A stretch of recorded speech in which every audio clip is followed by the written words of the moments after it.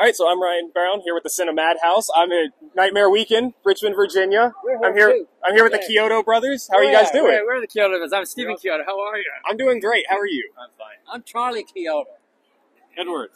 Nice to meet you. So first off, if you don't mind, am I allowed to ask what what happened to your arm? Were you, were you fighting some clowns? Big clowns. Got it. You I should would- see them. Yeah, you, yeah. So you, you mess them up. When they shake hands, they really mean it. Yeah, the joy buzzer just. Took I got you. out. Did you get caught with a pizza box or no? No, no. No pizza boxes? I was wearing lingerie though. Okay. So my first question, really, for you is: being 35 years removed from the movie, what has it been like for you guys to see the resurgence in popularity for Killer Klowns from Outer Space? Oh, oh, it's total surprise. Yeah. Yeah, we're so surprised that the new audiences have picked up on it after 35 years. It's a thrill. It's the dream come true for any artist, any creator, to have something embraced by basically now the whole world is turning on to Killer Klowns from Outer Space.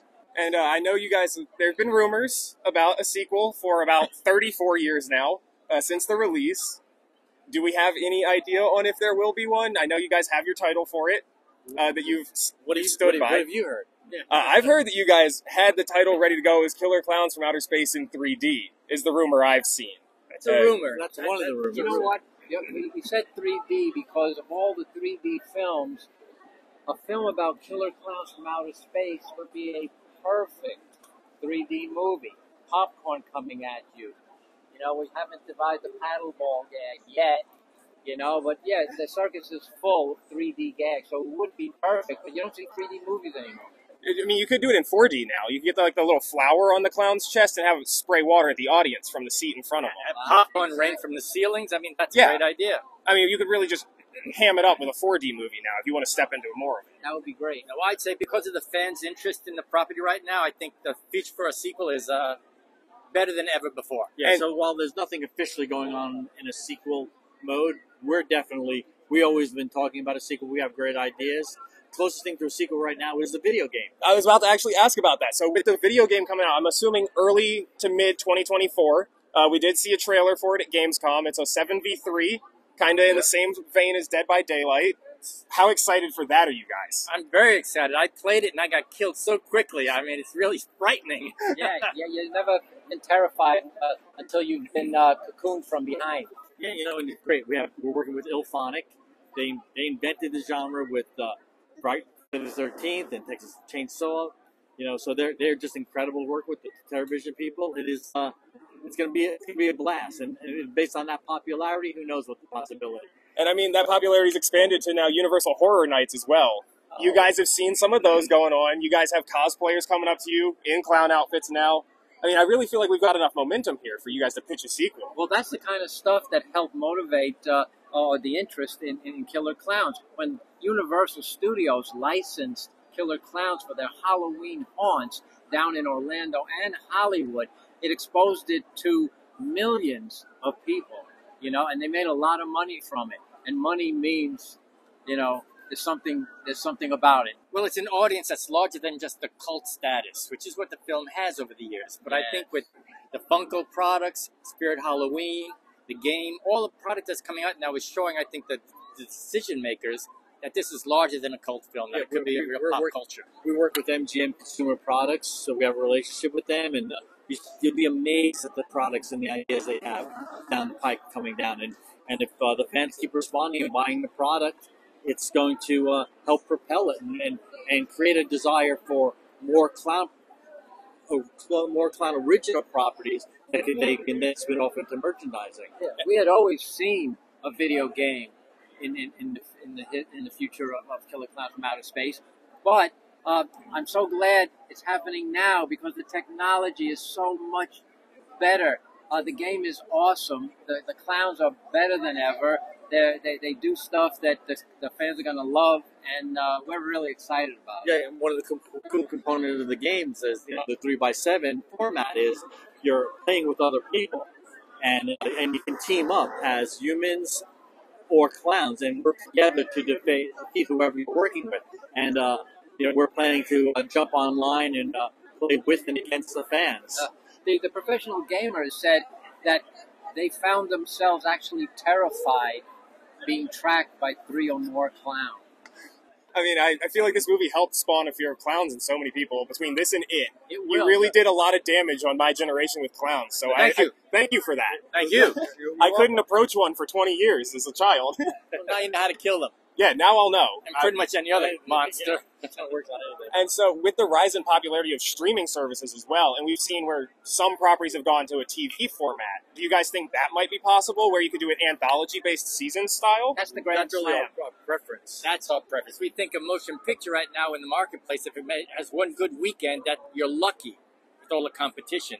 So rather than putting all our efforts into like a one-shot deal, let's do a long, uh, maybe an eight or ten part series, limited series, and see how it goes. We've got a lot of story ideas that we can expand on. Yeah, 35 years of clown ideas that are yet to be told. And uh, I don't want to entirely focus on Killer Klowns. As we see from the banner behind us, you guys have done a whole lot more than just Killer Klowns. It was your directorial movie. So, what other movies have you done, and what are you the most proud of in those works? Like, if you had a career highlight from anything other than just Killer in Clowns. different categories. Oh, a lot of different categories. Like most recently, we worked on Marcel, the shell with shoes on. different With from Dean- the stuff that we do. Dean Fleischer Camp and Jenny Slate, and uh, Edward was uh, the animation producer, and I was supervising animation director. It's a lovely, charming film, quite outside the horror genre. Yeah, and then you know, quite honestly, it's right. I mean, not only because it's just the most recent thing we worked on, I think it's probably one of the, the right up there with the highlight of my career because this the movie again. It's just so such an important little movie. Um, yeah, so all you horror fans out there, don't shy away from Marcel. You should check it out. There's no blood in it, but there's a lot of A lot of heart. tears. A lot But of heart. You will you will shed a tear or two. It's uh it's just like a, a wonderful movie. But then like something like uh, Team America, World Police with uh working with Matt and Trey. No movie like it. Yeah, it just uh it was like nine months of pure hell but fun. You know, fun, laughing every day. Yeah. Just working with those guys. And then Elf being involved with Will Ferrell and Jon Favreau on a, a holiday classic, that was a blast. To actually have one of our animated characters um, acting, performing in the same scene as the lead actor was really a big treat for us as well. All right, and uh, with the rise in, I'm more of, of VFX. How do you guys feel about sticking to your guns and still doing practical, pretty much for everything? practical rules. Um, we can do a lot in practical. We can enhance it with the digital. We like to look at special effects as a uh, a kit of uh, parts, a toolkit, and we like to use different tools. New tools are available. We'll use them, but we'll always love the practical. It's like mixed media. We do embrace digital compositing and digital effects, but we like to blend it with more practical effects. There's something physical and tangible about traditional effects. The rubber is right there in, uh, on on the screen. You can sense the texture. You can see the hand of the artist manipulating it.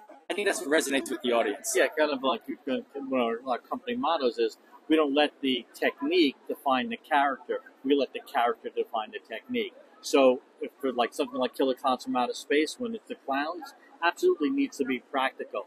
But a spaceship going in outer space or race, that's got you know that's the you know digital. Does uh, digital animation CGI for rays is the way to do it that, Yeah. today. And could you imagine if we had, if there was CG technology in the 80s when we did the film, now, today, the CG would look like garbage. It would look bad, but our, our, our traditional effects still stand the test of time. And last question for you guys. I just want to go. Do you guys have any general life advice for everyone out there? What's your best piece of advice you can give to anyone at home? Oh, you know what? Um, go with your passion. Go with the things that you know that uh, scare you and things that make you laugh. Uh, things that make you feel emotions. Uh, don't lose touch with your emotions. I would say go with that. Enjoy your life in any way that you can. yeah, I'd say follow your dreams and your passions and follow it. And if you're crossing the street, look both ways before you cross. Yeah, I was gonna say eat healthy and exercise. And don't trust random pizza boxes. Thank you guys so much. I appreciate it, and I hope you guys enjoy your weekend here in Richmond, Virginia, and you come back as soon as possible. Oh, yeah, thank you. It's really lovely here. Thank you. Enjoying it so far. We'll definitely come back.